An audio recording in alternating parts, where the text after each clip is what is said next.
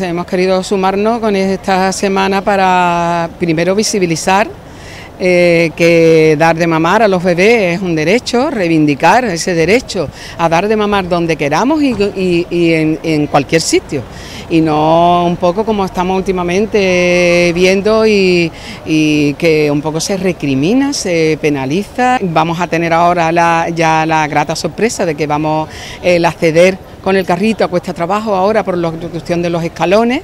Eso ya lo vamos a en diciembre, antes de, finalizar el año, ya vamos a tener esa, eso solucionado, con lo cual todas las mujeres con bebés van a poder acceder perfectamente a la sala de lactancia.